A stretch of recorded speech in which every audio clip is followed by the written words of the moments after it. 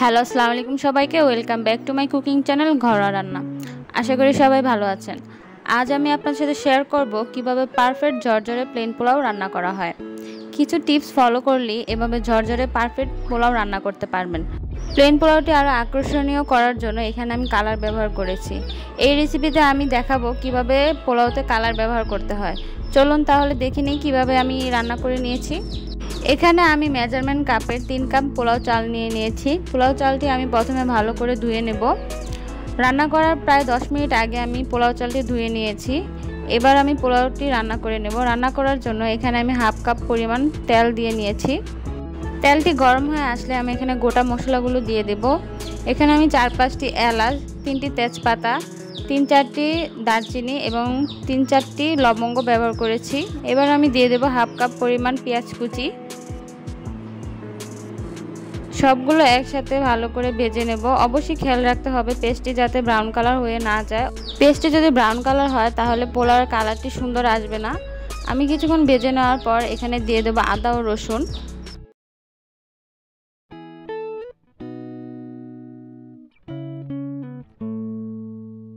এই পর্যায়ে আমি দু চা চামচ পরিমাণ রসুন বাটা এবং দেড় চা চামচ পরিমাণ আদা বাটা দিয়ে দিচ্ছি। এবার আদা, রসুন এবং পেঁয়াজকে একসাথে ভালো করে কিছুক্ষণ কষিয়ে নেব। এতে করে পোলাওর মধ্যে আদা ও রসুনের যে কাঁচা স্মেল আছে সেটি আর লাগবে না। এভাবে আমি কিছুক্ষণ সবগুলো মশলাকে কষিয়ে নেব। এ পর্যায়ে পানি দেবার প্রয়োজন নেই। এবার আমি দিয়ে দেবো একটা চামচ পরিমাণ জিরে গুঁড়ো। পোলাতে জিরে ব্যবহার করলে এর ফ্লেভারটি আরও সুন্দর আসে। এবার ভালো করে নেড়ে চেড়ে কষিয়ে নেওয়ার পর আমি পোলাও চালগুলো দিয়ে দেব।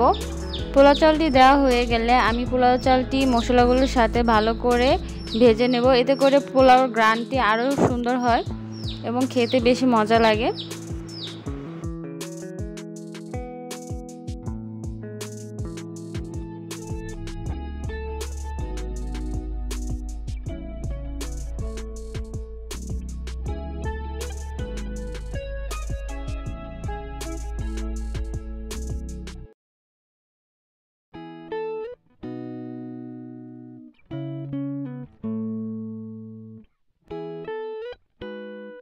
এভাবে পোলাও, চালটি, মশলাগুলোর সাথে ভালো করে নেড়ে চেড়ে ভেজে নেব। ভেজে নেওয়ার পর এখন আমি পানি দেব। পানির পরিমাণ হচ্ছে, পোলাওর চাল যতটুকু তার দ্বিগুণ পরিমাণ পানি দিতে হবে। এখানে যেহেতু আমি তিন কাপ পরিমাণ চাল নিয়ে নিয়েছি, সেহেতু ছ কাপ পরিমাণ পানি দিব। কিন্তু এখানে আমি পাঁচ কাপ পরিমাণ পানি দিয়ে এক কাপ পরিমাণ লিকুইড দুধ দিয়ে দেব।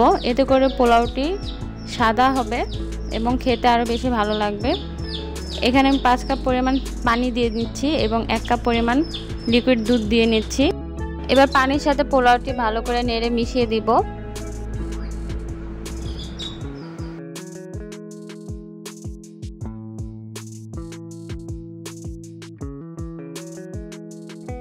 এই পর্যায়ে আমি দিয়ে দেবো স্বাদ মতো লবণ। লবণটি আপনারা আপনাদের স্বাদ মতো দিয়ে নেবেন। এখানে আমি এক চা চামচ পরিমাণ লবণ ব্যবহার করছি। এবার আমি দিয়ে দেব চার পাঁচটি কাঁচামরিচ এবং এক চিল লেবুর রস অথবা এক চা চামচ পরিমাণ লেবুর রস। লেবুর রসটি দিলে পোলাওটি একটির সাথে আরেকটি লাগবে না এবং পোলাওটি আরও বেশি ঝরঝরে হবে। এবার একটি ঢাকনা দিয়ে ঢেকে দেব। পানিটি ফুটে আসার আগ পর্যন্ত। পানিটি যখন ফুটতে থাকবে ওই পর্যায়ে আমি ঢাকনাটি খুলে দেব। এবং একটু নেড়ে দিব।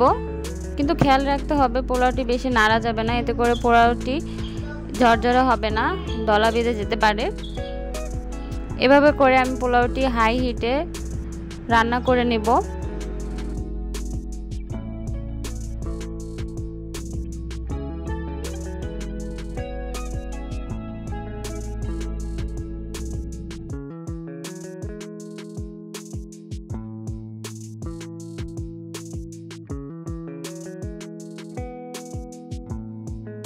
এভাবে পোলাওটি বেশ কিছুক্ষণ রান্না করে নেওয়ার পর যখন দেখব পোলাওর চালের পানিটি একদম চালের নিচে চলে গিয়েছে এবং চালটি দেখা যাচ্ছে, ওই পর্যায়ে একটি ঢাকনা দিয়ে ঢেকে দেব এবং চুলার তাপমাত্রা একদম লো করে দেব। এবং এই পর্যায়ে আমি 10 মিনিটের মতো এই ঢাকনা দিয়ে ঢেকে পোলাওটি রান্না করে নেব। দশ মিনিট পর আমি ঢাকনাটি খুলে জর্দার রং গুলিয়ে নিয়ে এভাবে করে দিয়ে দেব। অবশ্যই লক্ষ্য রাখতে হবে যে কোনো অবস্থাতেই পোলাওতে পানি থাকা অবস্থায় কালারটি ব্যবহার করা যাবে না। এতে করে সব বাতি কালার হয়ে যেতে পারে।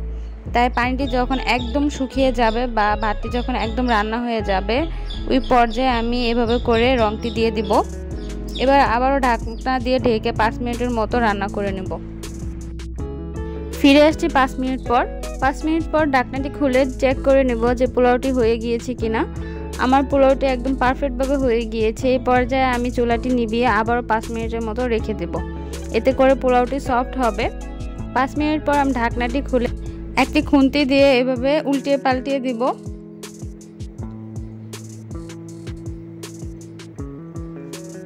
দেখতেই পাচ্ছেন জর্দার কালারটি, কিন্তু একটির সাথে আরেকটি লাগেনি। এই পর্যায়ে আমি উল্টিয়ে পাল্টিয়ে দিয়ে আবার চেপে চেপে পোলাওটিকে সেট করে নেব এবং একটি ঢাকনা দিয়ে ঢেকে রাখব। হয়ে গিয়েছে আমার ঝরঝরে সুস্বাদু প্লেন পোলাও। আমার এই রেসিপিটি ফলো করে খুব সহজেই রান্না করে ফেলতে পারেন ঝরঝরে এবং আকর্ষণীয় প্লেন পোলাও। আশা করি আজকের আমার এই রেসিপিটি আপনাদের কাছে ভালো লেগেছে। আমার রেসিপিটি আপনাদের কাছে ভালো লাগলে অবশ্যই আমার ভিডিওতে লাইক দিবেন এবং আমার চ্যানেলটি সাবস্ক্রাইব করে আমার পাশে থাকবেন। সবাই ভালো থাকবেন। আল্লাহ হাফিজ।